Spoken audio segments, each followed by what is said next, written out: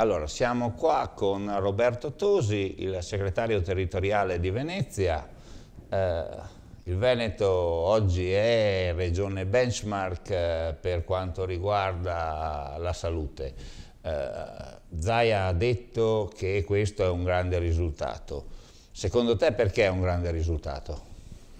Beh, eh, la Regione Veneto ha dato corso, anticipando, come tu dicevi, il patto di stabilità in un'ottica di benchmarking a un contenimento di costi, per cui è andata ad attuare l'orientamento della riorganizzazione del piano in ottica di appropriatezza delle prestazioni, ma soprattutto per quanto ci riguarda ha steso un piano sul punto 4.1 delle risorse umane è andata a centrare in, in ottica diciamo, ottimale la valorizzazione delle risorse delle professioni sanitarie e un'ottica di rivisitazione delle dotazioni organiche di cui credo siamo i primi a rivedere adesso gli standard di riferimento proprio come superando il decreto tonal Caten.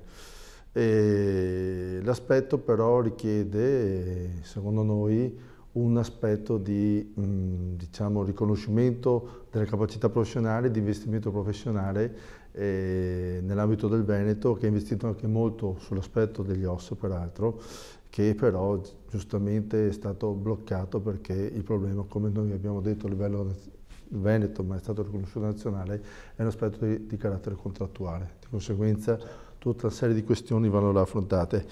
E...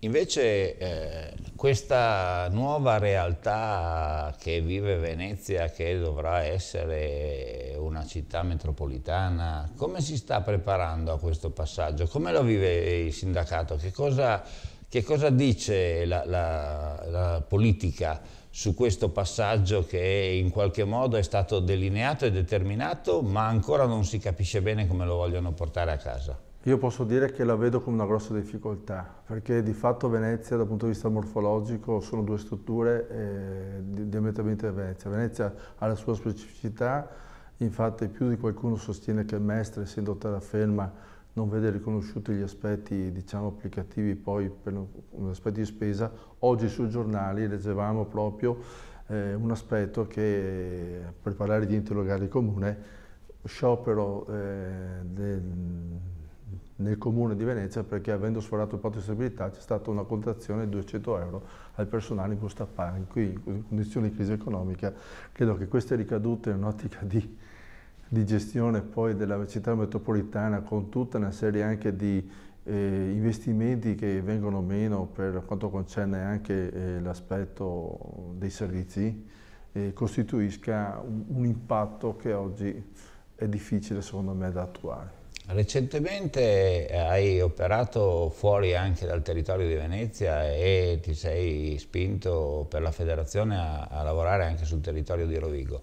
Uh, che realtà hai trovato nel Rodigino si dice mi pare. Nel Rodigino. Nel Rodigino. Nel Rodigino diciamo che sono realtà che non... Eh, L'FSI purtroppo, fra virgolette, non era ben conosciuto o c'erano ancora margini a Snatos e ho trovato spazi che secondo me sono spazi importanti eh, perché eh, mi sto accorgendo sempre più che bisogna andare, dicono a Venezia, al, bisogna andare in campo, per cui bisogna andare a portare l'informazione e dare contatto con i lavoratori. Infatti l'obiettivo che, che, secondo me è da portare avanti è proprio quello di cominciare ad andare anche eh, a parlare con i lavoratori, ma non negli orari centrali, ma anche a trovarli nei momenti in cui loro possono anche concederti o osservare le loro condizioni, per cui anche nei turni notturni. Ma questa lamentela politica dei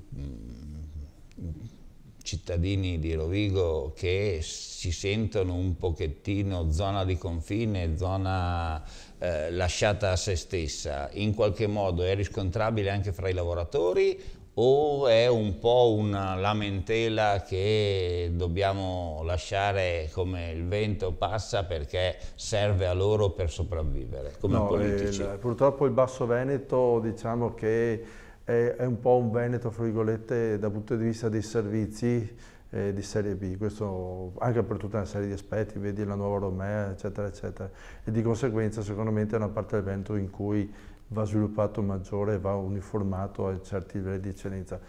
Se posso fare un altro confronto, dall'altra parte, nell'Alto Veneto, c'è una sofferenza delle comunità montane sotto quello che è anche l'aspetto del piano, per cui un equilibrio in un Veneto che comunque ha una, diciamo, una specificità del territorio molto diversificata, eh, va, va, portata avanti. Qua forse il Veneto, a mio modo di vedere, soffre di un aspetto di, di non poter fare investimenti, per cui, ritornando a un concetto più ampio, eh, i tagli sì, ma i tagli non possono più essere, continuare a essere lineari per le, per le, regioni virtuose. E il fatto che ci sia un progetto sul tavolo del Ministero che di fatto dovrebbe vedere due regioni in quello che è il territorio del Veneto oggi, se non addirittura tre, è dibattuto all'interno di questa regione o, oppure si sente poco, è lontano o non, non, non c'è proprio informazione di questo? No, su questo non, non c'è informazione da quello che io sinceramente la, la, la, lo apprendo adesso da te. Eh, io ero in ottica di, di aspetti invece di PIL di macro regioni, per cui ritengo che questo sia un costo anche per le politiche che l'FSI mette in campo, poi se vogliamo parlare di quello che è il contesto delle province e con l'aumento dei costi eccetera eccetera sicuramente quello che sta facendo adesso il governo Letta da quello che ho potuto capire è che è anche nel documento della segreteria nazionale un aumento dei costi per cui sicuramente non è un'ottica di, diciamo, di, di, economicità e per cui sono quindi determinati discorsi si fanno sopra la testa della gente? Eh, di fatto sì. Di fatto sì. Di fatto sì, per cui quello che posso dire è che eh, rifacendomi un discorso che adesso faceva il segretario nazionale Castagnolo sulla contrattazione, o riusciamo a riscardinare l'aspetto della contrattazione e per cui svincolare la brunetta su quegli aspetti, o secondo me il Paese, non tanto per il sindacato, ma il Paese in questo momento perde un significativo aspetto che è quello base della Costituzione, che è quello del confronto della contrattazione sugli aspetti proprio di, di politica e di tutela del lavoratore. Ti ringraziamo per il Grazie tuo contributo. Grazie a te dell'intervista e buona serata.